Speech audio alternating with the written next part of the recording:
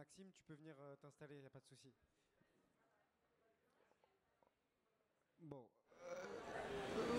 On va commencer donc euh, ce second débat co-organisé entre la fédération du PCF 92 et Espace Marx avec euh, un plateau de choix aujourd'hui, je le présenterai tout à l'heure, mais on est vraiment très heureux de pouvoir euh, enchaîner euh, ces débats à forte euh, tonalité critique et à forte tonalité européenne avec toute l'actualité qu'on sait qu'il y a en ce moment. Alors, quelle est la question que nous souhaitons nous poser aujourd'hui? Nous souhaitons nous poser une question simple que je résumerai de façon un petit peu provocatrice. Je vais demander au bar, s'il vous plaît, de juste faire un peu silence. Donc, c'est la troisième fois, mince, quoi.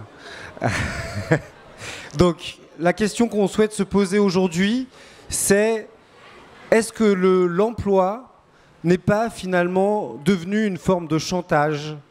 Jamais les dirigeants de nos pays, du moins dans l'Europe, n'ont eu autant ce mot à la bouche. Jamais nos dirigeants n'ont autant parlé d'emploi. Et pourtant, nous n'avons jamais été aussi loin en termes de résultats, puisque, euh, nous le savons, nous vivons dans le cadre d'un quinquennat marqué par la croissance du taux de chômage. La question est simple, est-ce que finalement cette lutte pour l'emploi ne s'est pas transformée en un immense euh, piège, un immense piège dans lequel on demande aux populations de marchander euh, leurs euh, droits salariaux en échange d'une hypothétique promesse, celle de pouvoir s'insérer à terme sur le marché du travail. On a plusieurs exemples dans l'actualité euh, autour de ce sujet. Il y a l'accord de ce sous-traitant automobile dans l'Est de la France qui propose ni plus ni moins à ses salariés que de travailler 37 heures payées 39. Alors qu'est-ce qui est mis dans la balance à nouveau? Qu'est-ce qui est mis dans la balance? C'est tout simplement une sécurisation de l'emploi à l'échelle des trois ou cinq prochaines années. Autre type d'exemple, les sorties récentes euh, de Valls et de Macron autour de l'idée qu'il faudrait simplifier le code du travail et que cette simplification serait la condition pour que nous réussissions à faire croître euh, notre taux d'emploi à l'intérieur de la France. Donc on le voit, cette thématique est aujourd'hui une thématique minée et il s'agit de prendre en charge le fait que nous pensons que cette thématique est a priori une thématique de gauche, alors que c'est un terrain qui est occupé par nos adversaires. La thématique de l'emploi est aujourd'hui mise au service très largement d'une réduction des droits salariaux, d'une baisse des cotisations et d'une détérioration, des conditions de travail. C'est tout simplement l'idée que nous sommes confrontés peut-être à une chimère, le plein emploi, ce plein emploi auquel les générations jeunes ne croient plus, ne croient plus dans l'ensemble des sondages. Lorsque vous interrogez les 20-35 ans, très majoritairement, les personnes, euh, ces jeunes vous répondent qu'ils ne croient plus au retour du plein emploi. Mais par contre, on s'aperçoit qu'il y a un usage totalement détérioré par la droite et par certaines forces de gauche de ce rêve d'un retour au plein emploi. Et donc, on a souhaité poser cette question du coût qui avait idéologiquement cette obsession de l'emploi et de la façon dont nous pouvions malgré tout retrouver un sens, un sens pour les politiques du travail. Alors on a un plateau, je le disais tout à l'heure, un plateau qui est vraiment un plateau de choix. Je commencerai donc par l'ordre dans lequel je vais euh, donner la parole. Jean-Vincent Coster, qui est euh, un expert auprès des comités d'entreprise et qui a euh, à son actif notamment le fait d'avoir mené la bataille avec les Pilpa, avec les Fralib, puisqu'il a participé à la constitution de l'expertise euh, auprès de ces comités d'entreprise. Il interviendra autour de la façon dont on peut déminer ce chantage à l'emploi. On a également Mathieu Grégoire, qui est sociologue, sociologue à Nanterre, et qui est un spécialiste du droit des chômeurs, qui interviendra, lui, sur le coût économique que euh, fait peser la bataille pour l'emploi, un coût économique qui est aujourd'hui largement inefficace au vu euh, de, des résultats qui ne sont pas obtenus par le gouvernement et il interviendra aussi autour de quelques propositions euh, que l'on peut faire pour sortir une partie des populations précaires de euh, leur situation de détresse sociale y compris de détresse symbolique. Ensuite, on aura une intervention, un invité spécial, Georges Catroboulos était là tout à l'heure, c'est le ministre du Travail de Syriza. Il reviendra, il, participe pour l'instant au vœu de Pierre Laurent aux personnalités, mais il reviendra euh, en deuxième partie de débat pour faire une intervention sur la possibilité de mener une politique du travail émancipatrice en Grèce dans les conditions que l'on connaît, qui sont des conditions de chantage généralisé qui sont euh, adressées à ce pays. Donc je te passe la parole, Jean-Vincent, pour euh, une première série d'interventions et je vous remercie tous pour l'écoute. Bonjour à tous. Donc avant effectivement de développer sur euh, les, exemples qu'a cité Yann sur Fralib et Pilpa, parce que effectivement moi je parti au cabinet Projexa sur lequel on a eu la chance de travailler rapidement revenir, même si Yann a déjà développé, on a tous en tête, hein, au nom de l'emploi, tous les sacrifices qui sont demandés aux salariés et aux représentants du personnel sur les salaires, sur les conditions de travail, sur l'organisation du travail, qui sont des thèmes qui ne sont euh, plus abordés. Et même euh, euh, les NAO, alors que normalement les négociations annuelles obligatoires, quand elles existent, quand elles ne sont pas euh, une mise devant le fait accompli par l'employeur, le thème abordé est très marginal et c'est dans le meilleur des cas euh, les salaires, mais vraiment la question de l'organisation du travail et des conditions sont euh, mis sous le boisseau parce que effectivement il y a déjà la chance d'avoir un emploi et comment le préserver. Euh, dernièrement, le débat sur le code du travail ressort. C'est quand même une vieille, euh, là aussi une vieille chimère, hein, l'idée qu'il faut simplifier le code du travail pour, euh, créer l'emploi. Bon, moi je suis dans une génération où je commence à avoir l'âge où j'ai plein d'amis qui veulent être propriétaires quand ils ne sont pas proprios, quand ils n'achètent pas, c'est pas parce que le code de l'urbanisme ou le code du, euh, du logement et de l'habitation a, eu une croissance énorme du fait du Grenelle de l'environnement. S'ils n'achètent pas, c'est qu'ils n'ont pas les moyens. Par contre, sur le code du travail, la simplification, alors là, oui, ça, euh, c'est une emploi. Donc, plus sérieusement, on voit qu'il n'y a euh, aucune preuve scientifique abordée là-dessus, mais quelque chose de très fort. On parle beaucoup du rapport Combre-Excel, on parle moins de petites lois assez techniques qui, depuis trois ans, ont été euh, mises en place. Comme elles sont techniques, elles ne sont pas toujours bien euh, euh, décryptées. Mais mis bout à bout, elles ont une certaine cohérence et cette cohérence, elle tend à supprimer des verrous et de, résistance et de contestation au diktat de l'emploi à tout prix. Alors qu'est-ce qu'il y a eu dernièrement? Déjà le fait, Yann en a parlé tout à l'heure, mais c'est promouvoir ce qu'on appelle les AME, hein, les accords de maintien de l'emploi, qui seraient de plus en plus facilités. Euh, avec des propositions qui font qu'on n'a pas droit de déroger au SMIC et aux 48 heures. Euh, bon, c'est, on est quand même sur des, niveaux qui sont euh, extrêmement bas. Et encore, quand Yann parlait tout à l'heure de ces accords de maintien dans l'emploi, la condition c'est donc on rogne sur le temps de travail, les salaires, au nom pour pas de, sécuriser le parcours. C'est important, c'est il ne doit pas y avoir de licenciement collectif. Ça ne veut pas dire qu'il y a des embauches quand il y a des remplacements, euh, il y a des départs en retraite, etc. On est vraiment dans, dans une idée de, de contraction euh, de l'emploi et qui se fait sur un, un effet de, productivité euh, très fort. Il y a aussi une modification des plans de sauvegarde de l'emploi. Hein. Il y a ce qu'on appelle l'ANI, la loi de sécurisation de l'emploi, qui fait que les délais ont été ne sont, je ne vais pas rentrer dans le débat, mais en fait, les possibilités de mener une euh, bagarre juridique, comme par exemple, on a entendu pendant longtemps les continents, les, euh, les, mais il y avait aussi les, les. Avec la nouvelle législation, ce n'est plus possible. Fralib, les 1336 jours, ce n'est plus possible avec la nouvelle législation, ça serait 120 jours.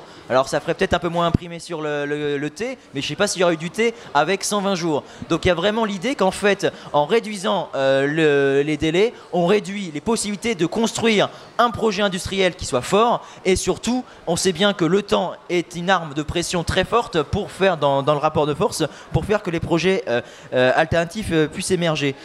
dernièrement, dans le rapport Combre-Excel, il, il renvoie beaucoup à des l'idée qu'il faut euh, revoir le code du travail, mais il y a des propositions assez précises. Et quelles sont-elles? C'est euh, là encore, est dans le technique, mais qui sont symboliques. C'est il y a un, article dans le code du travail qui est assez connu euh, des, juristes. C'est le, alors je vais me la péter, le L 1224-1. C'est quoi? C'est que fait le transfert des contrats de travail. Hein, quand une, entreprise est rachetée, le contrat de travail est transféré et avec le maintien des avantages individuels acquis.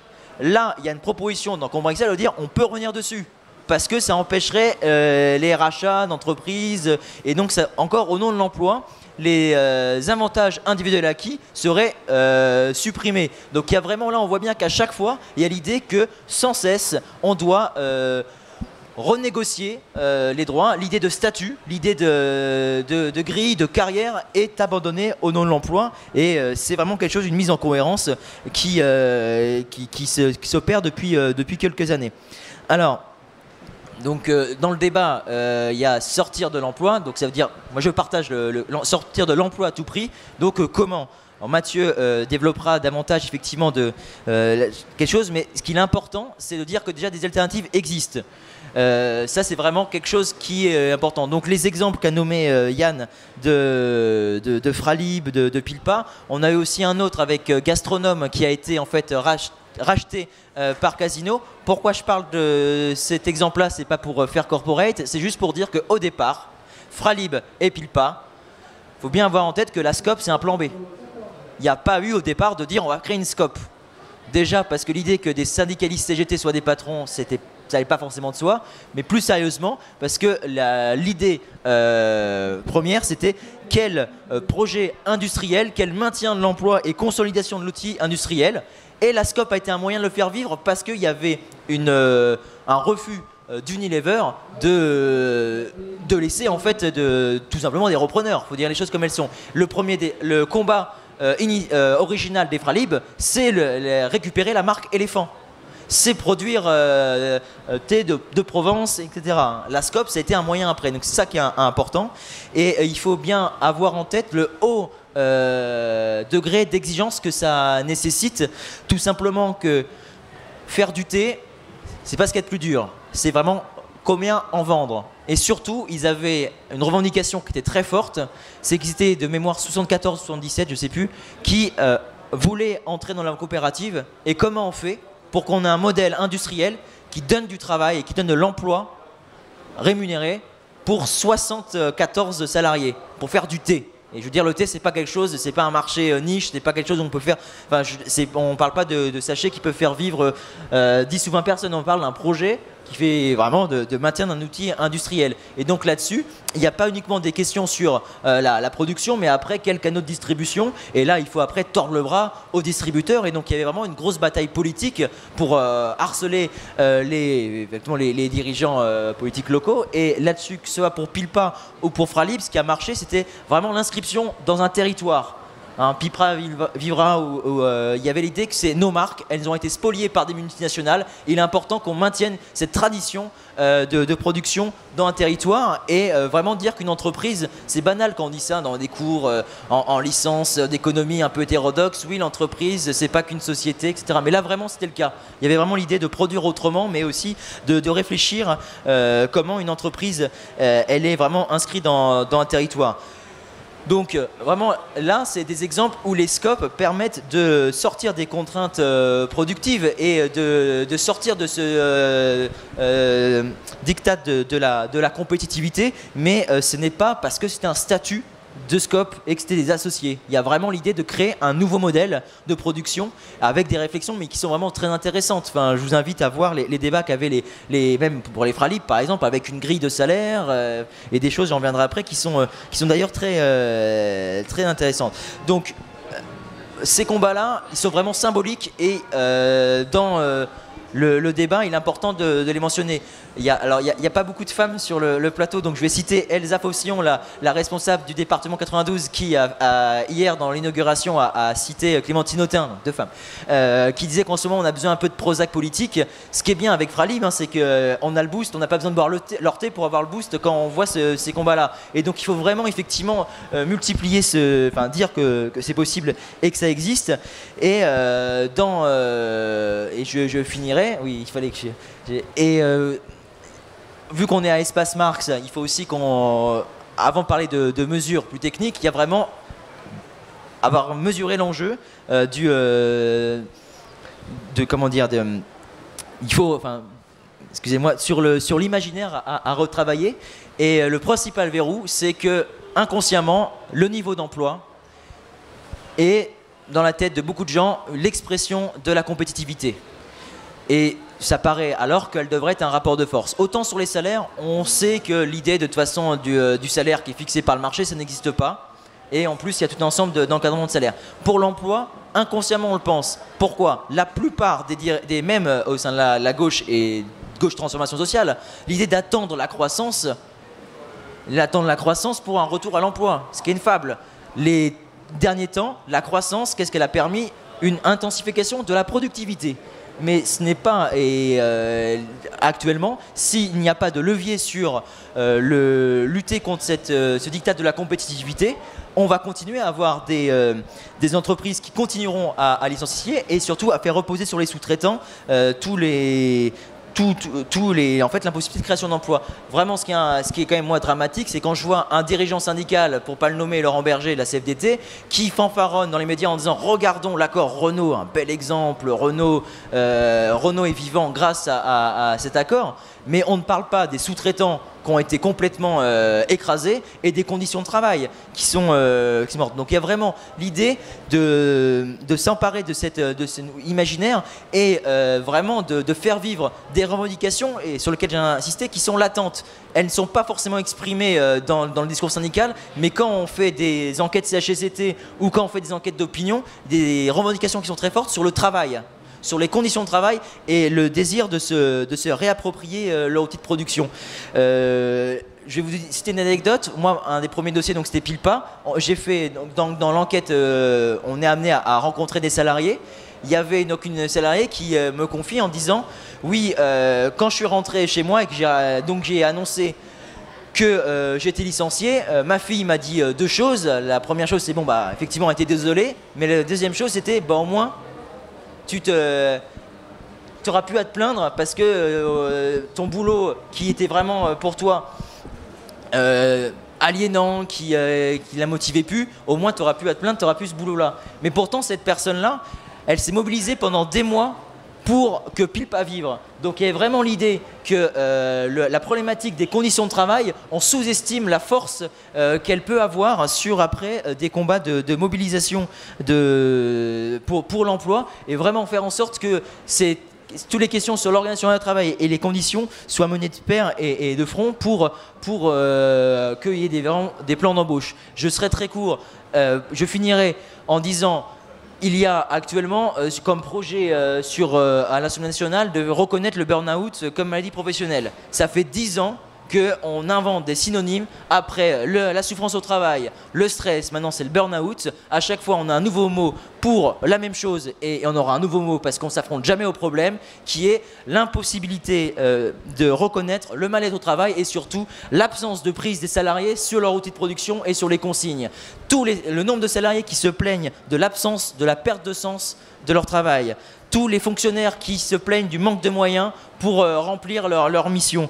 Euh, l'impossibilité pour les salariés de tenir les consignes. C'est une souffrance d'autant plus forte qu'elle est euh, tue à cause de ce diktat de l'emploi à tout prix. Donc il y a vraiment cette idée de défendre ces revendications et pour donner des mesures concrètes, moi je m'étonne que ce gouvernement, enfin je m'étonne moi, mais là on attaque encore les CHSCT, avec la loi Repsamen pour faire en sorte que les CHSCT pratiquement n'existent plus dans les structures de moins de 300 salariés, alors que justement les conditions de travail devraient être au cœur des revendications et au cœur des actions euh, dans les entreprises. Et elles permettraient en plus de contester à la fois les plans de réorganisation, car il, devrait en fait donner un pouvoir de veto, certes au CE, mais aussi au CHSCT, euh, parce qu'il y a au nom euh, de quelque chose qui existe, c'est l'obligation de prévention des, euh, employeurs.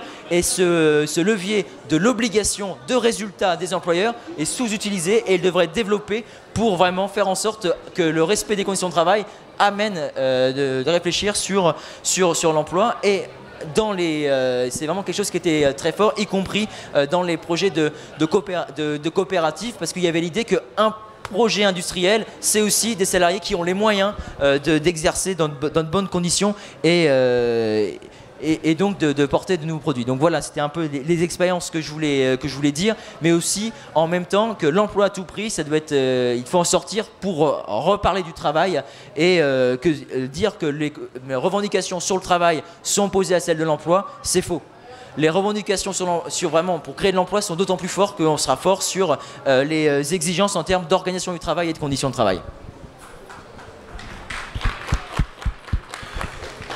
Merci beaucoup Jean-Vincent. Effectivement, dans une période politique euh, marquée par euh, une certaine déprime, euh, avoir des nouvelles des fronts salariaux comme les Pilpa, les Fralib qui marquent des points, voilà, acheter les thés des Fralib, ils ont vraiment besoin en distribution solidaire comme dans les grandes surfaces.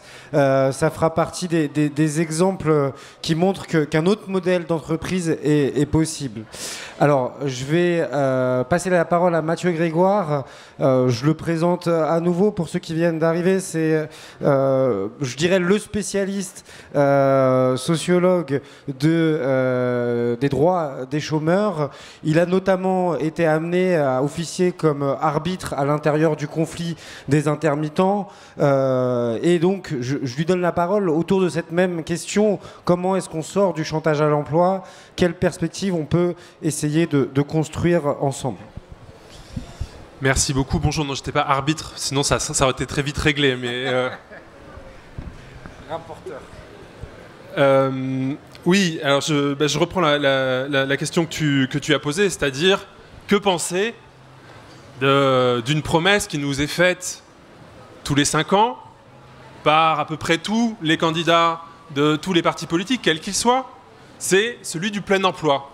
C'est-à-dire qu'on nous promet pour demain, pour après-demain éventuellement, pour Noël, euh, le plein emploi. Le plein emploi, c'est-à-dire le fait qu'on va créer 5 millions, 6 millions de CDI pour venir à bout d'un chômage qui aujourd'hui est euh, à, une hauteur d'environ 5 euh, millions et demi de, personnes. Donc ça, c'est les, statistiques de Pôle Emploi qui comptabilisent 5 millions et demi de demandeurs d'emploi et qui ne comptabilise pas un certain nombre de personnes qui sont invisibles euh, dans les statistiques, qui sont en gros ce qu'on appelle les chômeurs découragés, c'est-à-dire des gens qui au fond ne se présentent plus à Pôle Emploi, euh, disparaissent des statistiques, mais qui de fait sont dans une situation qui euh, ressemble à du, à, du, chômage, à s'y méprendre.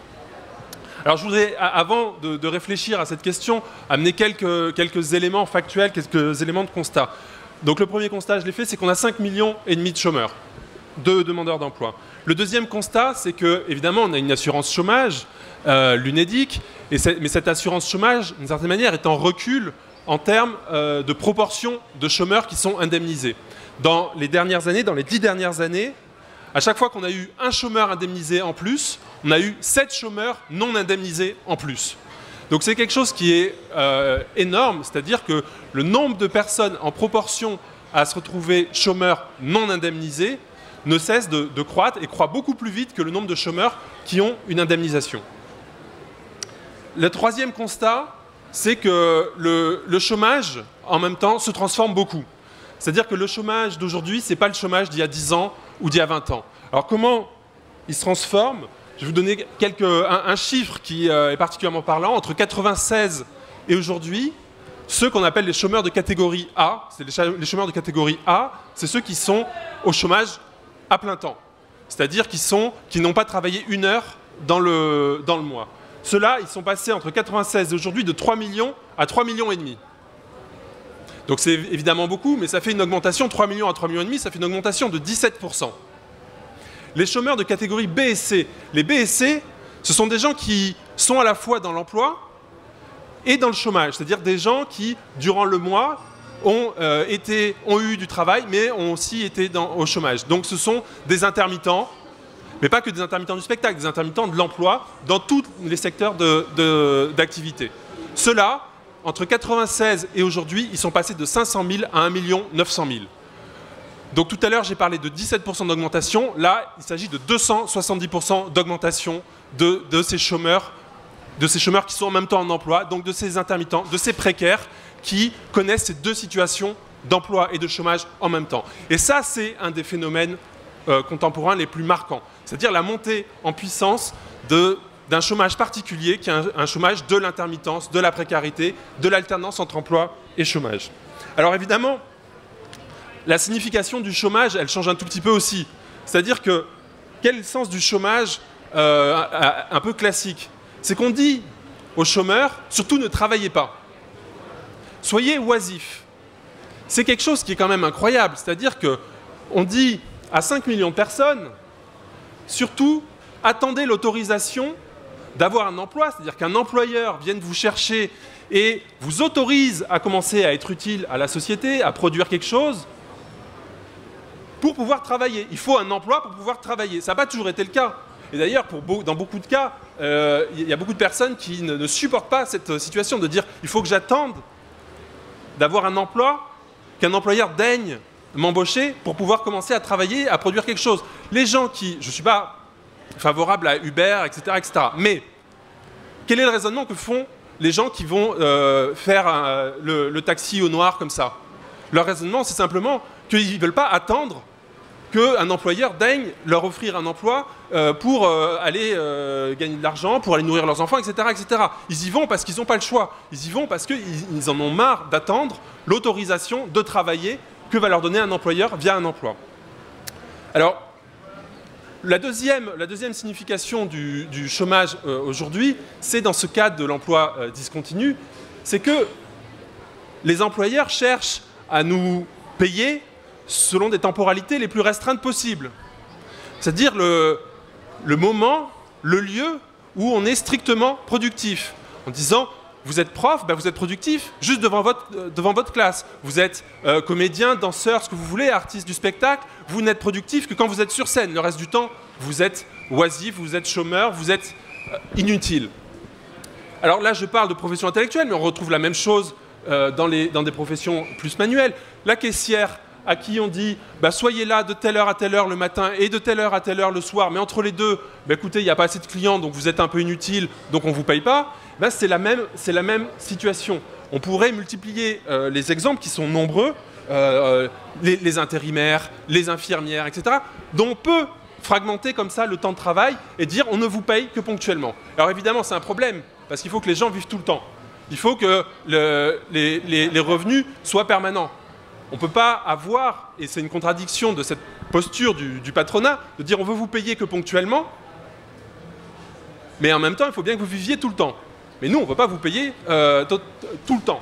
Euh, ce qui n'est pas totalement euh, idiot de la part du patronat. Je ne vais pas me faire le défenseur du patronat ici, mais malgré tout, si vous pensez aux saisonniers, leurs revendications, les saisonniers qui tiennent les, télésièges pendant l'hiver, leur revendication, c'est pas d'être payé par la, pour toute l'année euh, à regarder un télésiège quand il n'y a pas de neige. Ils sont d'accord pour dire moi je suis utile à tel moment, je suis payé par tel employeur à tel moment. En revanche, je veux un, revenu tout le temps, un salaire tout le temps. Et la solution, c'est évidemment pas de forcer un, employeur à le payer tout le temps. Ça va passer, je vais y revenir euh, plus tard, par une socialisation, par une mise en commun, par le fait que l'ensemble des employeurs doivent fournir un salaire en permanence à l'ensemble des salariés. Car évidemment, le, grand vainqueur, le grand euh, gagnant de cette affaire-là, c'est le patronat. C'est ce que euh, tu as dit tout à l'heure, c'est-à-dire c'est le chantage à l'emploi. Les employeurs, ils se présentent à nous de manière assez singulière. Ils se présentent à nous comme ceux qui ont le monopole de la création d'emplois. C'est-à-dire c'est ceux qui ont le monopole de transformer votre capacité de travail en emploi, en salaire, etc. Et donc, on voit défiler à la télévision des gens du MEDEF qui vous expliquent que euh, c'est la création d'emplois, c'est eux. Et c'est ce levier qu'ils utilisent pour un chantage permanent, pour dire l'emploi, ça passera par nous. Donc, il va falloir en payer le prix. Et le prix, c'est très souvent le prix du sang et des larmes. Alors, quelle stratégie dans ce contexte? Quel euh, horizon d'émancipation pour, les, salariés. Alors évidemment, comme je l'ai dit, tous les partis nous promettent le, plein emploi, y compris les partis de gauche, y, compris les partis de gauche quand ils disent qu'il suffit d'interdire les licenciements. évidemment qu'on peut avoir cette stratégie défensive de dire il faut arrêter, le, il faut arrêter la, folie de la fermeture d'usines, etc., etc. Mais en quoi est-ce une solution? En quoi est-ce que ça va nous permettre de créer 600 millions de CDI pour demain? Évidemment que c'est illusoire. Évidemment qu'on est dans une, illusion. Alors, tout le monde nous le promet.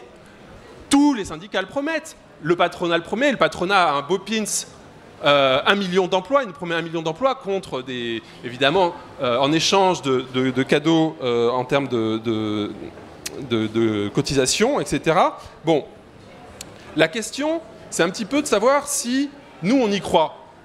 Et je pense que là, il y a une forme de tabou, c'est-à-dire que les électeurs, à chaque élection, font semblant d'y croire, se disent qu'effectivement, on va pouvoir aller vers le, le plein emploi, mais au fond d'eux, chacun sait qu'on ne trouvera pas les 6 millions de CDI qu'il faudrait pour arriver au plein emploi. Personne ne considère comme crédible cette perspective et qu'elle vienne de la droite ou de la gauche, on sent bien qu'il y a là quelque chose d'assez illusoire. Donc la question, c'est un petit peu de savoir jusqu'où on est prêt à aller, jusqu'où on est prêt à aller dans cette direction-là du plein emploi. Le programme de Hollande était simple. Le programme de Hollande, c'était l'emploi, l'emploi, l'emploi. L'emploi à tout prix. Ce qui fait frémir le plus, c'est cette expression de l'emploi à tout prix quel est le prix qu'il va falloir payer pour cet emploi à tout prix? Eh bien, le prix de l'emploi à tout prix, c'est d'abord des sommes insensées d'argent public qui sont directement versées aux employeurs. Les employeurs, le patronat, revendiquent de pouvoir euh, prendre dans la, caisse euh, publique, dans le budget de l'État, de quoi payer les charges sociales, les cotisations de ces salariés. Et c'est le, sens du CICE, mais c'est le sens de toutes les politiques euh, d'exonération de, charges depuis des années. Depuis des années. Autre, autre exemple d'exonération de charges, les aides pour les salariés à domicile. Vous savez, pour avoir son jardinier, sa femme de ménage, etc., euh, l'État est prêt à, à, faire un crédit d'impôt et donc à payer, c'est l'argent public qui paye la protection sociale, les cotisations à la place des particuliers employeurs. Alors il y a des économistes qui ont, fait une, étude pour savoir bah, combien ça coûtait. Simplement, combien nous coûte un emploi de euh, femme de ménage. Ils sont arrivés à une conclusion euh, assez hallucinante, c'est que euh, on était arrivé parfois, par ces politiques, à faire en sorte qu'un emploi de femme de ménage coûte 200 000 euros. 200 000 euros, un emploi de femme de ménage. Donc c'est-à-dire que ça coûte 200 000 euros au budget de l'État, comme manque à gagner en termes d'impôts, et ça ne crée qu'un emploi de femme de ménage. Alors combien, avec 200 000 euros, on peut payer d'emplois de jardiniers, de femmes de ménage dans les, municipalités, dans les collectivités, etc. C'est hallucinant. C'est-à-dire que là, c'est de l'argent public qui permet, avec des, montants incroyables, de, de mettre en emploi une seule personne qui va travailler pour un particulier, pour un privé, alors la question, c'est jusqu'où on va? Est-ce que cet argent-là ne serait pas mieux employé euh, en faisant payer ces 200 000 euros aux contribuables et à payer des employés municipaux, des fonctionnaires ou n'importe quelle autre personne qui va pouvoir rendre beaucoup plus de services à la collectivité. Euh, le prix de l'emploi à tout prix, c'est aussi la transformation de notre système de protection sociale. Eh bien écoutez, c'est très simple. je ne vais pas vous faire la démonstration parce qu'elle est très compliquée. Mais Écoutez, c'est très simple, c'est que. Voilà, je, je, je passe 30, secondes. Excusez-moi. Écoutez, moi je le fais travailler à domicile. Si je coûte 200 000 euros à la société, vous avez. Excusez-moi, vous avez pas. Deuxièmement, qu'est-ce qu'on rend comme service? C'est justement à permettre à des gens de vivre dans la pauvreté et la dignité.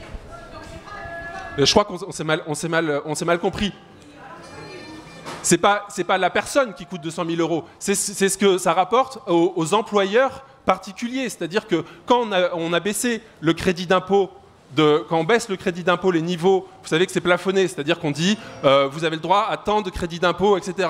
Et pour encourager l'emploi, on a fait des cadeaux supplémentaires à, ces employeurs particuliers. On a augmenté les plafonds. On a dit bah, finalement, vous aviez le droit à 20 euh, 000 euros d'exonération, vous allez avoir le droit à 40 000 euros d'exonération eh ben, le passage de 20 000 à 40 000, on a calculé combien ça coûté.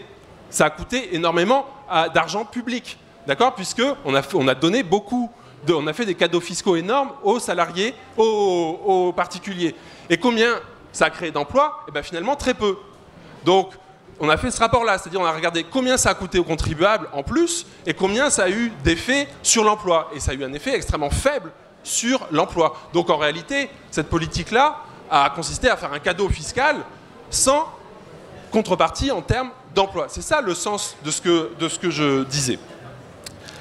Le prix de l'emploi à tout prix, c'est aussi le, fait que nos systèmes de protection sociale sont aujourd'hui métamorphosés et encouragent, sont construits pour encourager euh, les chômeurs à accepter n'importe quel euh, emploi. Il y a une workfairisation, c'est-à-dire l'idée qu'il faut que le, but du chômage, notamment de l'indemnisation chômage, c'est plus d'indemniser des chômeurs, c'est de les encourager à accepter n'importe quel euh, emploi.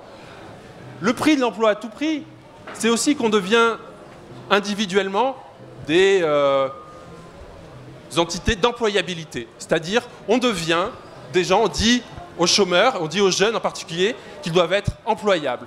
On leur dit, écoutez, vous êtes très souvent trop inemployables. Vous euh, n'êtes pas job ready. Vous n'êtes pas capable tout de suite euh, d'être exploité par un, employeur. Et donc, il va falloir travailler à votre employabilité.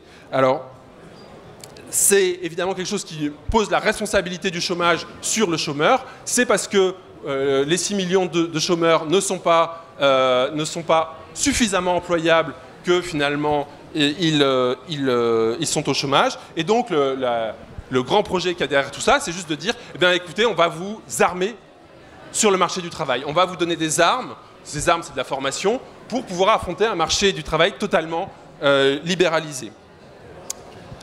Enfin, euh, le, prix de l'emploi à tout prix, c'est euh, le fait qu'il euh, y a une forme de business du chômage qui se met en place, c'est-à-dire beaucoup de, gens dont le métier, dont le produit, ça va être de promettre de l'emploi. Et notamment, on, a vu, on, a vu, ça, par exemple, avec les, les Molex, qui ont été rachetés par un fonds financier qui, au fond, ne vend qu'une chose. Il vend une promesse. À l'époque, c'était Estrosi qui était ministre de l'Industrie il demande des subventions, il demande de l'argent, et il demande à racheter l'usine pour un euro symbolique. Donc, qu'est-ce que vend cette usine, ce fonds, parce que c'est un fonds financier Il vend une promesse à euh, des responsables politiques qui sont euh, complètement pris à la gorge, qui disent Bah oui, moi, si vous gardez 50 ouvriers, c'est bon, on vous, fait, on vous fait un pont d'or et, on vous, donne de l'argent. Et donc, c'est devenu, cette affaire-là, ce chantage-là, est aussi devenu une forme de, business. Alors, pour terminer, quelle, alternative on peut proposer à, euh, ce plein emploi qu'on nous vend comme seule religion Bien, écoutez, la difficulté, c'est de, effectivement, de repartir du fait qu'aujourd'hui, beaucoup de salariés sont dans un emploi discontinu. C'est-à-dire qu'ils travaillent en permanence et sont en permanence aussi euh, euh, au chômage, c'est-à-dire dans une discontinuité de l'emploi. C'est le travail qui se transforme parce qu'effectivement, de, de plus en plus, la production se fait en étant utile au bon endroit, au bon moment. L'idée, c'est que, effectivement, euh, le pompier, euh, son, son, métier, c'est d'éteindre le feu. Et le feu, il n'est pas là tout le temps. Mais on a besoin en permanence de pompiers pour éteindre le feu. Donc, effectivement, si on le paye qu'au moment où il est strictement productif, qu'au moment où il nous est, où il est utile à la société, eh bien évidemment il y a un problème. Et donc de nombreux métiers prennent cette forme-là, c'est-à-dire où notre production effective n'est pas continue tout au long de la journée, on ne produit pas euh, des choses, on est là d'astreindre d'une certaine manière pour être utile au bon moment et au bon, euh, au bon endroit.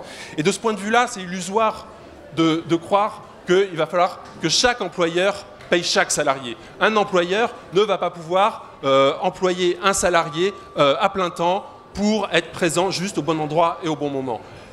Dans ce, dans ce monde du travail qui se transforme, où on a de fait des millions de personnes qui sont dans la précarité, les solutions doivent passer par la revendication de droits nouveaux pour ces salariés à l'emploi discontinu. C'est important pour ces salariés à l'emploi discontinu parce qu'évidemment, on ne peut pas vivre avec une discontinuité du salaire parce qu'on a une discontinuité de l'emploi. Donc il faut une continuité du, salaire. Et c'est important aussi pour les salariés euh, classiques à l'emploi euh, continu qui, eux, se retrouvent euh, soumis au chantage à l'emploi en permanence, avec surtout avec l'épée de Damoclès de, ce chantage à l'emploi. Donner des droits nouveaux aux salariés à l'emploi discontinu, c'est affronter ce chantage à l'emploi, c'est affronter le patronat dans son ensemble en lui disant qu'il ne faut plus, nous ne voulons plus que la précarité, que le chômage signifie des droits euh, diminués. Et de ce point de vue-là, je crois que les, intermittents du spectacle, sans euh, vouloir en faire un modèle pour tous, l'idée n'est pas de dire tous intermittents du spectacle, mais ils donnent une leçon importante pour l'ensemble des salariés à l'emploi discontinu, pour les intérimaires, pour les saisonniers, pour tous ceux qui se retrouvent, pour les 1,9 million de personnes dont j'ai parlé, qui se retrouvent effectivement dans cette situation euh, difficile où on alterne emploi et euh, chômage. Il faut affirmer pour eux un, droit à un salaire continu. Et ce droit au salaire continu, il passe par une socialisation, c'est-à-dire par la cotisation de l'ensemble des employeurs qui doivent payer à un moment donné l'ensemble de ces travailleurs. Et je, je m'arrêterai là-dessus. Super. Merci beaucoup Mathieu. Euh, voilà. alors on est, on est très heureux vraiment euh, d'accueillir Georges euh, Quatre roues Galos, je suis désolé, j'étais sûr de passer à côté. Mais en tout cas, on est vraiment heureux. Je, le présente parce que euh, voilà, c'est une personnalité euh, importante euh, à l'intérieur de ce qu'essaye de construire Syriza. Il, il était jusqu'à la démission du gouvernement Tsipras pour déclencher les élections ministre du Travail.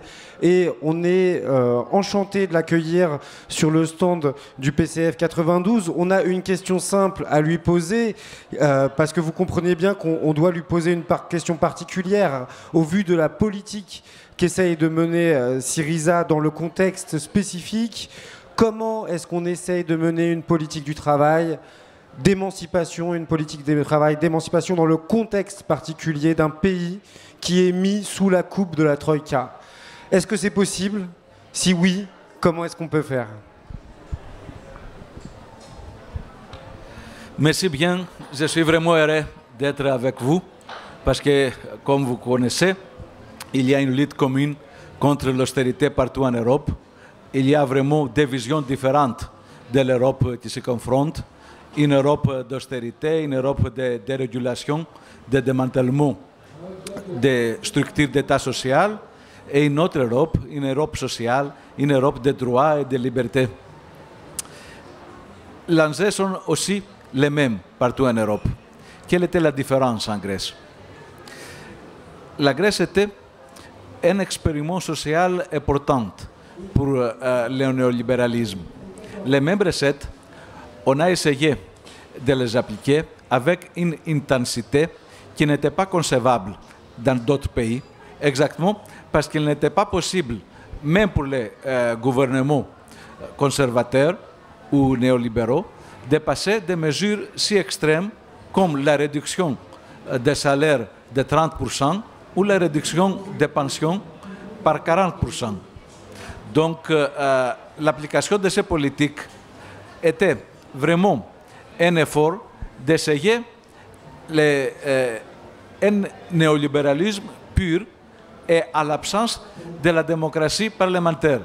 Parce qu'il est vrai que toutes ces lois ont été votées par le Parlement grec, mais même le gouvernement euh, de la droite et de l'alliance conservateur euh, social-démocrate auparavant euh, ont essayé de présenter la Libye qu'il n'était pas eux qui, avaient le choix de ces politiques. Ces politiques ont été imposées par la Troïka. La vérité que ces politiques de, de réglementation majeure, je vous donne tel exemple, à, la suite, a échoué. Pas seulement on n'est pas sorti de la récession, on a perdu plus que l'un quart de notre produit national brut. On a des chômages de 25% et ça en tenant compte que plusieurs des centaines de milliards des Grecs, spécialement des Grecs jeunes, ont émigré en demandant un futur que leur, leur patrie, leur euh, pays, les réfugiés. Donc, euh, il y avait un échec général de ces politiques de euh, déréglementation. Il n'était pas la recette pour la croissance, mais pour une croissance euh, à, la, à, la, mode néolibérale. Je vous décris quelqu'un de ces mesures euh, de, déréglementation. On a abrogé les accords collectifs. Les salaires ne sont, plus, ne sont plus déterminés par les négociations entre le travail et le capital et le patronat, mais par la loi. Les lois ont aussi euh, imposé des réductions importantes, comme je viens de dire, pas seulement au salaire du secteur public, mais aussi au salaire du euh, secteur privé. Et on a essayé de combiner cette attaque contre les salaires avec un euh, démantèlement plus général des garanties juridiques de la stabilité du travail. Pas seulement dans le secteur privé, même dans les fonctions publiques. On a des licenciements de fonctionnaires euh, exactement pour créer un esprit, une ambiance de terreur au sein de la fonction publique. On a, on a aussi changé les droits disciplinaires des fonctionnaires exactement parce qu'il est nécessaire qu'un esprit de terreur règne sur l'administration si on veut appliquer des politiques pareilles. Maintenant, Grèce est encore le sang d'un expériment social, mais au sens inverse. On a maintenant pour la première fois en Grèce un gouvernement de gauche qui a essayé de démanteler cette contre-réforme, cette contre-révolution néolibérale. J'avais la chance euh, de diriger au commencement de la période gouvernementale de Syriza le ministère de la fonction publique.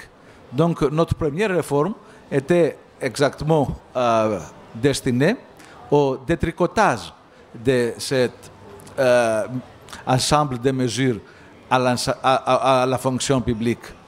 On a procédé à réinstituer des milliers de fonctionnaires qui ont été licenciés sans être évalués, et personnellement, et les structures administratives euh, qui ont été aussi abrogées.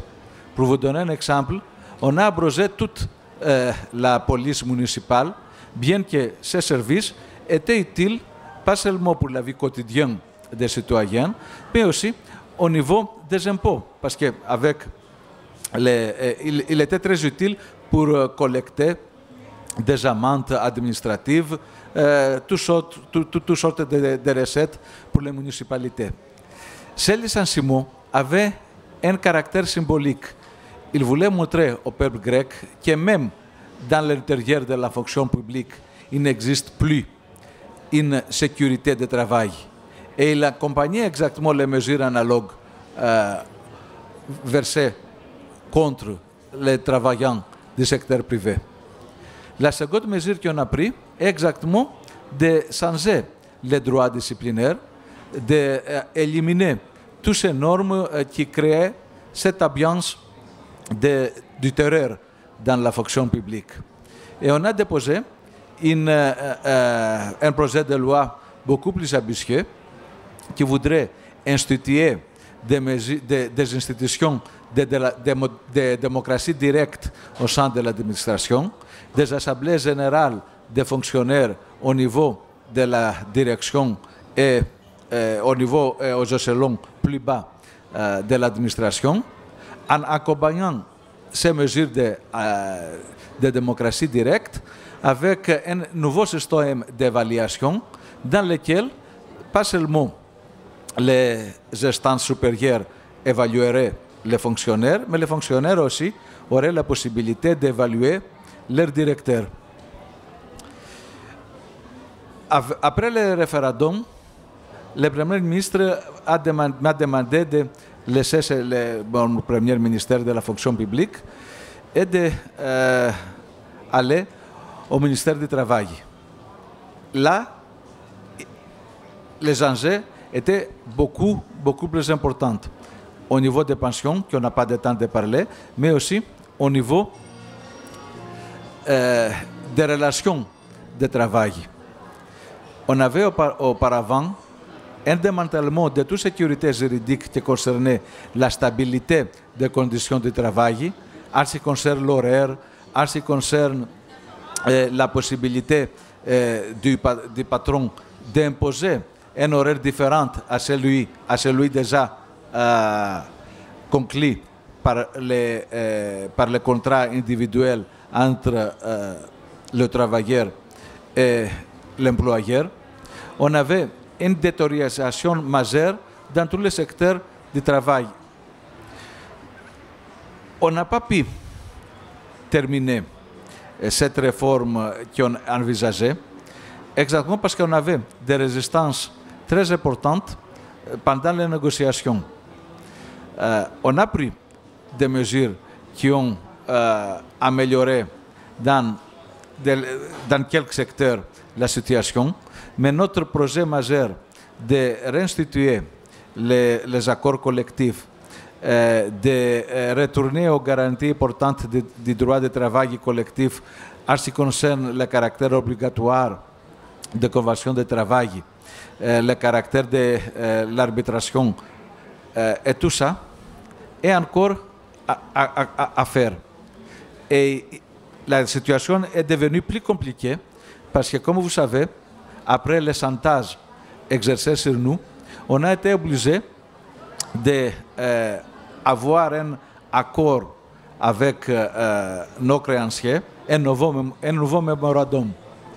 Qu'est-ce que ce nouveau mémorandum prévoit Il ne prévoit une euh, énumération exacte des mesures qu'il faut prendre. Il dit qu'il faut légiférer selon les bonnes pratiques européennes. Et vous comprenez que pour nous, les bonnes pratiques européennes, ce sont celles de la tradition euh, européenne des droits sociaux, ceux qui sont conformes au modèle social européen. Pour eux, pour l'FMI, pour les cycles néolibéraux qui maintenant gouvernent en Europe, c'est exactement le contraire. C'est la dérégulation massive, le retour à un capitalisme de type Dickens du 19e siècle. Et exactement parce que la force, le rapport de force n'est pas favorable à nous, ce qu'on va faire est d'essayer de euh, transmettre cette discussion, ces négociations au niveau européen. On a demandé au président du Parlement européen d'avoir la surveillance sur les négociations. Pas, on a pris cette euh, initiative parce que, non parce que nous ne connaissons pas que le rapport de force n'est pas favorable, mais au niveau euh, du Parlement européen, mais on veut avoir une transparence à cette euh, négociation qui ne concerne pas, ne concerne pas seulement nous, mais toute l'Europe. La Grèce est devenue le miroir de l'avenir de l'Europe. Parce que si on se met d'accord que la bonne pratique euh, pour le travail est la dérégulation, ce qui, se ce qui se passe maintenant à Athènes, il se passera demain à Madrid et après-demain à Paris. Il est très important alors d'avoir un front commun, pas seulement avec les forces politiques, mais le plus important dans les sociétés européennes, d'avoir un front uni contre ces politiques euh, de néolibéralisme.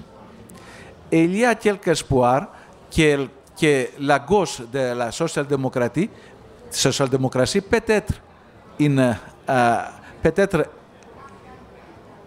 euh, une alliance vers cette direction.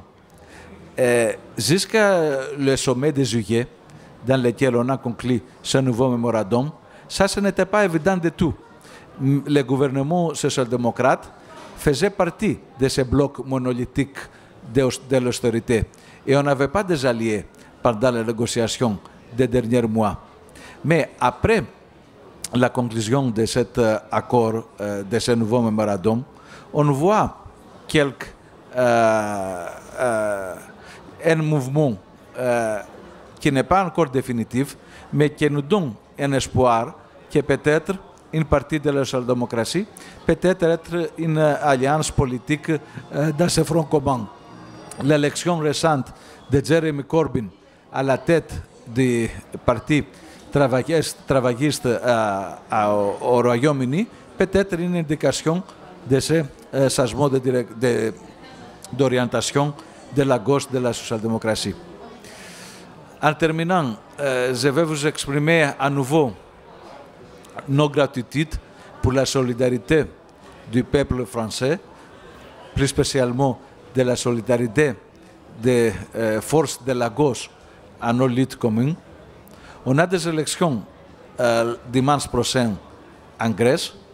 On a l'espoir que le peuple grec va nous donner une seconde chance pour continuer nos efforts pour euh, démocratiser le système politique grec qui était dominant par une alliance entre les oligarques de l'argent et un système politique corrompu, et à la fois donner une lutte contre l'ennemi commun, les forces du néolibéralisme qui voudraient démanteler toute garantie, tout droit social en Europe. Merci bien.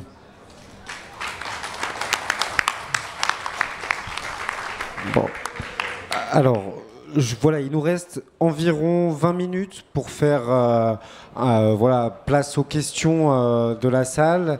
N'hésitez pas à intervenir. ce sont des enjeux qui se posent à toute une série, des questions qui se posent à toute une série de niveaux. Mais voilà, nos intervenants devront partir à 15h25 maximum. Oui, bonjour. J'avais une, question pour le, dernier intervenant. Euh, vous avez parlé euh, à un moment donné qu'il y a eu dans votre pays des licenciements de fonctionnaires qui ont eu lieu.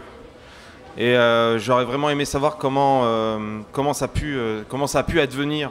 Parce que, en général, les statuts de fonctionnaires, ce sont des statuts solides.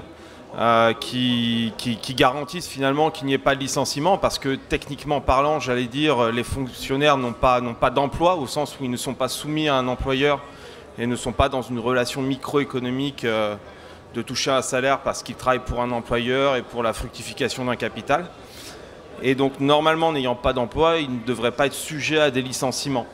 Et ils ont normalement des statuts euh, bah, qui leur garantissent un salaire à vie, quoi, hein, tout simplement. Donc je, me suis dit, qu'est-ce qui, qui, au niveau des lois, au niveau des décisions gouvernementales, euh, euh, a pu être mené pour que, pour que légalement des licenciements de fonctionnaires puissent avoir lieu C'est ça qui est terrible. Comment ça a pu advenir Comment ça n'a pas pu faire réagir euh, énormément de personnes. Enfin, peut-être que ça fait certainement réagir, je veux dire, mais enfin, comment ça a pu passer C'est ça, ça, moi, qui me choque profondément, parce que là, si nos adversaires arrivent à ce genre de choses, euh, là, on est, on est vraiment mal. Voilà, c'est ma question.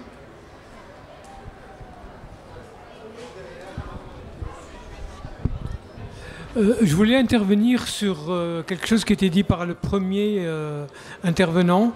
C'est sur le nombre des. Comment s'appelle Sur le problème du plein emploi. en fait, lorsqu'on parle du plein emploi, on fait référence toujours et euh, dans les, dans les médias, on fait référence à la Grande-Bretagne, aux États-Unis, euh, à l'Allemagne. Et lorsqu'il parle de plein emploi, il faut bien savoir que le plein emploi dans ces pays-là, mais ça qui n'est pas connu par la population, c'est toujours un minimum de 5%. Lorsqu'ils sont à 5% de chômage, ils estiment ça le plein emploi. Euh, et euh, leur démonstration, donc ils disent, euh, leur démonstration, c'est de dire que lorsqu'on affaiblit les conditions de, de, l'employabilité des salariés, qu'on donne plus de pouvoir aux patrons, eh bien évidemment, regardez dans ces pays-là, et c'est vrai, dans ces pays-là, il y a simplement 5% de chômage, et, il y a le plein emploi, il y a 5% seulement de chômage. Et donc, le problème que nous avons à expliquer, c'est un peu euh, cette histoire que euh, euh, un emploi, qu'est-ce que c'est un emploi qu'est-ce que c'est un chômeur? Parce que lorsque le travail est morcelé, comme il a été dit par le deuxième intervenant, lorsque le travail est morcelé comme ça, quelle est la partie où on est en train de vivre quel est le sens à ce, moment-là qu'on donne à cette partie du travail qui est en fait qu'une récupération pratiquement du force de travail parce que pendant la période toute petite où on travaille, il y a une exploitation maximale. Et euh, c'est pour ça qu'en France, par exemple, on trouve y a une euh, très grande productivité. Lorsqu'on lorsqu'on divise, euh, on, diminue la force, le temps de travail sur une petite, un, petit instant seulement de ça, évidemment la productivité augmente.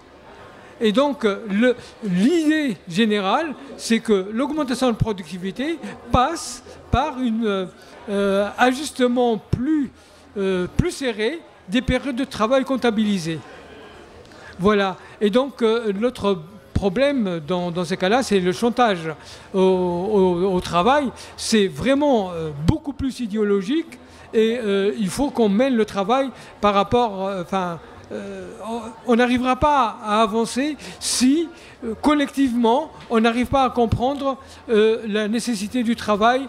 c'est pas seulement le moment où on est appris sur, un bouton ou simplement que l'infirmière fait un acte d'injection, mais c'est beaucoup plus grand de ça parce qu'il y a une préparation, il y a toute une période où le travailleur est en train de préparer ce travail-là. Voilà.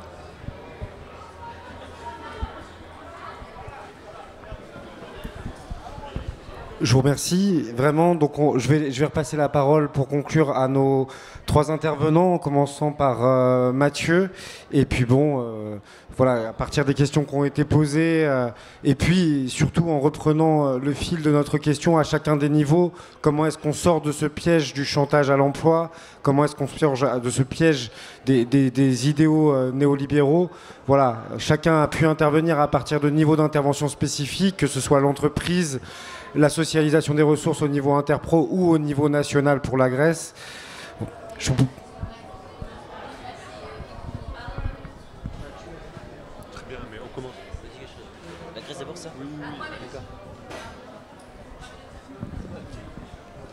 Vous avez raison, ce n'est pas facile de licencier des fonctionnaires. Euh, comme en France, en Grèce, euh, les fonctionnaires jouissent d'inamovibilité. Ce qu'on a fait est de supprimer les postes qui, ont été occupés par les fonctionnaires. Pour cette raison, on a abrogé toute euh, la police municipale pour avoir la possibilité de licencier tous les policiers euh, qui, occupaient des postes euh, dans ce service. Et ça, c'est arrivé sans aucune évaluation, pas seulement des fonctionnaires individuels, mais aussi de la nécessité sociale que ces postes, à, à, ce que ce poste correspondait. Donc, euh, euh, il y avait des, litiges juridiques sur la constitutionnalité euh, de cette abrogation, exactement parce qu'il était évident la façon pas seulement autoritaire, mais aussi pas correspondante à l'état de droit. mais on a intervenu avant que cette, cette litigation devienne définitive dans les euh, tribunaux administratifs, on avait euh, une contestation de la constitutionnalité de ces mesures, tandis que dans euh, les juges civils, on avait une attestation de, que, que, ces mesures étaient contre la Constitution. Dans ce cas-là, on a une cour spéciale d'arbitrage qui intervient entre les deux cours pour donner la réponse définitive si les mesures étaient constitutionnelles ou non. De toute façon, il était plutôt une, geste symbolique qui voulait démontrer à tous les travailleurs, pas seulement aux travailleurs euh, du secteur public, que s'il n'y a pas de stabilité et de sécurité de travail dans la fonction publique, il n'existe euh, jamais et n'existe nulle part. Donc, pour nous, il était importante euh, de restituer ces fonctionnaires, pas seulement pour des, raisons, de justice, mais aussi pour des raisons symboliques de notre part, de, de, montrer à tout le monde qu'on revient aux garanties traditionnelles de l'état de droit euh, de, la Constitution et euh, de la garantie des droits collectifs de travail. Oui, simplement sur les droits euh, des euh, salariés à l'emploi discontinu. comment les choses se, passent effectivement quand un employeur paye uniquement dans ces moments fragmentés? Les choses sont, posées depuis très longtemps en réalité, notamment aux intermittents du spectacle. En 1936, les premiers droits sociaux qu'on a eus, ça a été les, les 15 jours de congés payés. Alors qui paye les 15 jours de congés payés? Bah, C'est l'employeur. Mais pour qu'il y ait l'employeur, il faut qu'il y ait un seul employeur. Si vous avez 10 employeurs ou 20 employeurs, vous faites comment? Vous vous retournez vers qui pour vous payer vos 15 jours de congés payés?